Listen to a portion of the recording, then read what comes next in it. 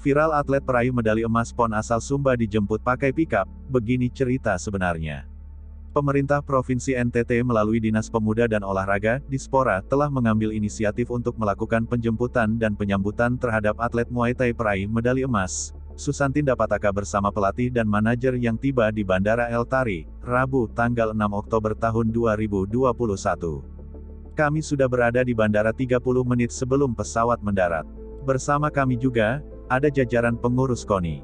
Setelah keluar dari ruang tunggu, kami lakukan penjemputan dan pengalungan bunga. Kami tawarkan berkali-kali kepada atlet, manajer serta pelatih untuk bersama-sama dengan kami, ke GOR tapi pelatih bilang, biar kami dengan komunitas yang jemput, jelas Sekretaris Dinas Pemuda dan Olahraga NTT, Willem Enga. Didampingi Kabit Pengembangan Prestasi, Alomin, Sekdis Dispora mengungkapkan, Pihaknya telah menyiapkan acara penyambutan sederhana di GOR karena atlet dan pelatih Muay Thai tersebut adalah atlet binaan Dinas Pemuda dan Olahraga di Pusat Pembinaan dan Latihan Olahraga Daerah PPLD, dan Pusat Pembinaan dan Latihan Mahasiswa Daerah PPLMD NTT. Demikian juga pelatihnya, adalah pelatih yang dipakai oleh PPLD. Namun sekali lagi pelatih tetap memilih untuk bersama komunitas Sumba dan Laskar Timor serta memakai tumpangan pick-up yang disediakan komunitas tersebut dan langsung menuju ke kem latihan. Kami pun turut serta mengantar mereka, jelas Sekdis Pemuda dan Olahraga NTT. Kabit Peningkatan Prestasi, Alomin menambahkan sesuai agenda dan rencana yang telah disepakati, semua atlet PON NTT rencananya pada tanggal 17 Oktober setelah PON selesai akan bertemu gubernur dan wakil gubernur.